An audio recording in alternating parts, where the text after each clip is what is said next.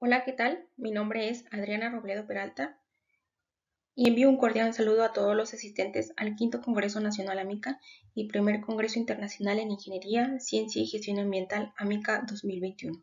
A continuación, les presento mi investigación que lleva por nombre Biomasas modificadas para la remoción de fluoruro en agua de pozo.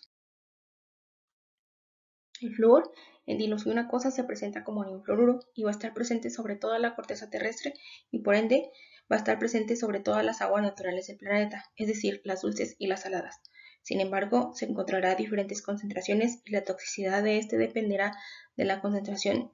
del agua de ingesta y de la cantidad total ingerida.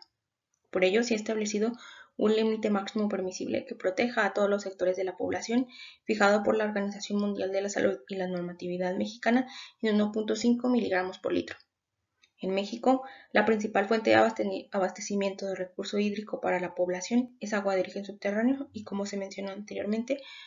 contiene diferentes concentraciones de flúor. Sin embargo, históricamente se han reportado niveles superiores al límite máximo permisible. La ingesta excesiva de ion fluoruro puede provocar fluorosis dental y esquelética, además de problemas neurológicos y de fertilidad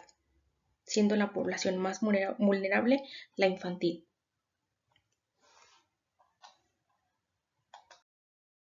Es por ello que se buscan alternativas para la remoción del ion fluoruro en agua destinada a consumo humano.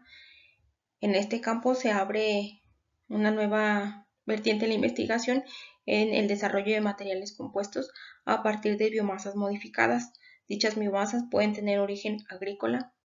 forestal o doméstico, siendo generalmente biomasas de desechos sin ningún valor comercial que reciben un tratamiento físico, químico o térmico para emplearse como bioabsorbentes de bajo costo o bien como matrices de impregnación o soporte de eh, algunos otros elementos. Esta investigación estudia la modificación de biomasas por medio de tratamiento alcalino, carboxilación e impregnación con un catión metálico, en este caso el circonio, que es químicamente inerte, estable a diferentes pHs y económicamente competitivo para aumentar la capacidad de absorción de eh, dos biomasas. En este caso se seleccionaron cáscaras de naranja y manzana, que son dos frutas consumidas mundialmente durante todo el año y que presentan contenidos lignocelulósicos y de polifenoles de manera abundante, lo cual proporciona una cantidad importante de grupos funcionales como los hidroxilo que participan en la captura del fluoruro o bien se enlazan muy bien al circonio que posteriormente capturará al ion fluoruro.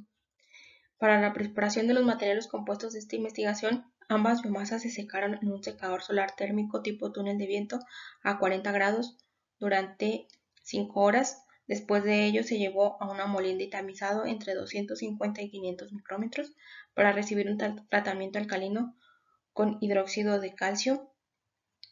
Después de ello se sometieron a carboxilación durante 24 horas. Estos polvos lavados y secos se impregnaron finalmente con circonio durante 24 horas más. En la imagen se presentan los materiales o los polvos secos obtenidos a partir de ambas biomasas que reciben el nombre de bioabsorbente de cáscara de naranja y bioabsorbente de cáscara de, manzana impregnadas con circonio, ambas en siglas en. La caracterización de materiales compuestos es importante para determinar la participación de los grupos funcionales o del elemento impregnado en las biomasas y determinar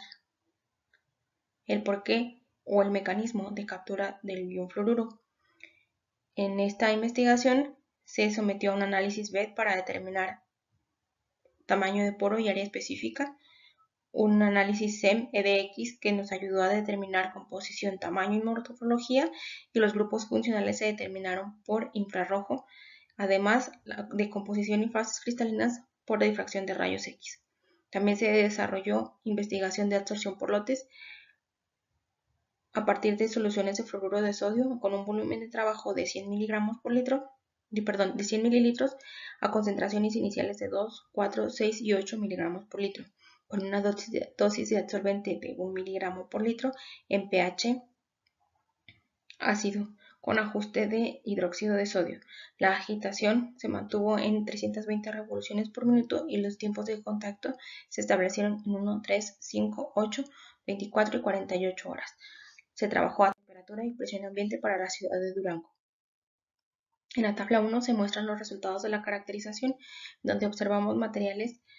con un tamaño de poro entre 6 y 5 nanómetros que los clasifica como materiales mesoporosos siendo este un tamaño adecuado y comúnmente reportado para materiales absorbedores de flúor debido a que el radio iónico del fluoro es de 0.133 nanómetros, dando paso a un, buen espacio para la captura del fluoro. El análisis SEM nos permite determinar materiales amorfos para ambos casos con textura rugosa y con un contenido de circonio en peso del 30 y del 22% para cáscara de naranja y manzana respectivamente. El tamaño por medio de las partículas rondó entre los 80 y los 388 nanómetros, perdón, micrómetros, en donde es importante señalar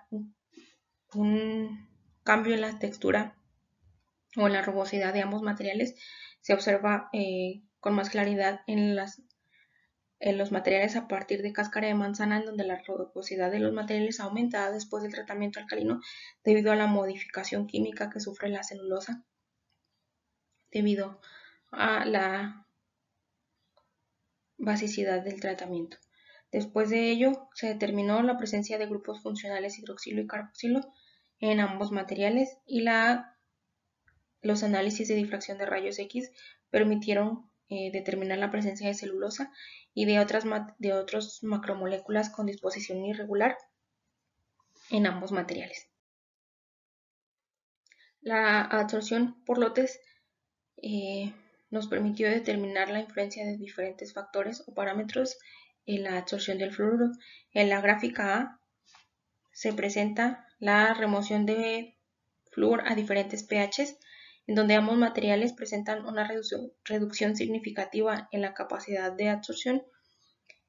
al incrementarse el pH, alcanzando su máxima remoción superiores al 90% en un pH de 3 y decayendo significativamente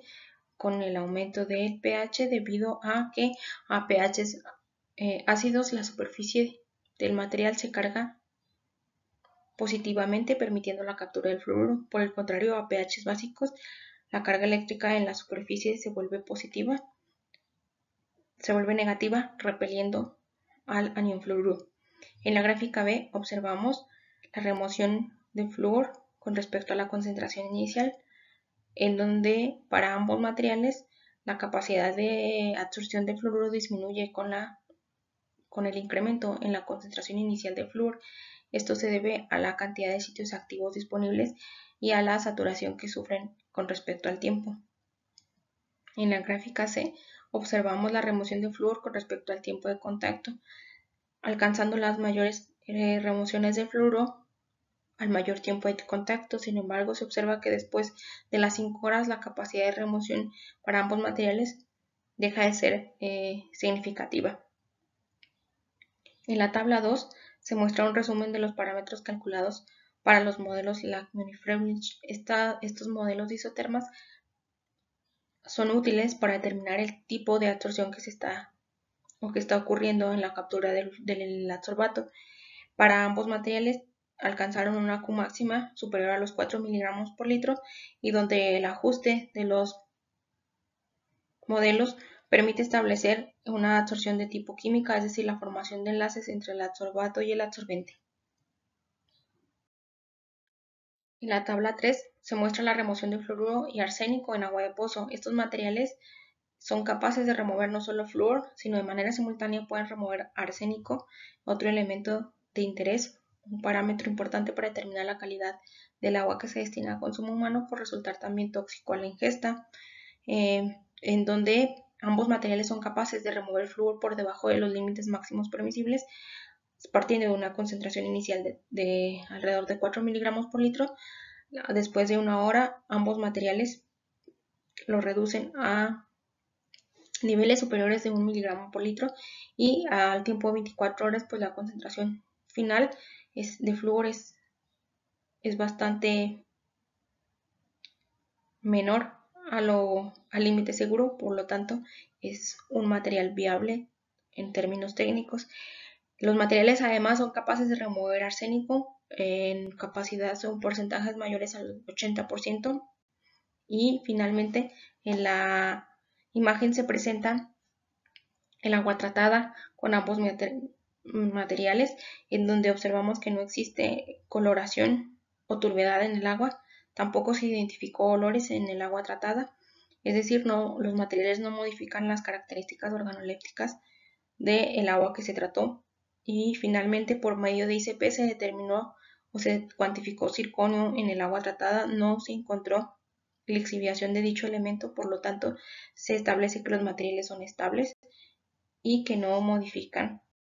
la concentración de elementos en el agua tratada, salvo la reducción en la concentración de flúor y arsénico. Como conclusiones tenemos que ambos bioabsorbentes mostraron una buena capacidad de remover flúor en sistemas acuosos. Se observó una remoción dependiente de flúor con respecto a la concentración inicial de fluoruros, además del pH,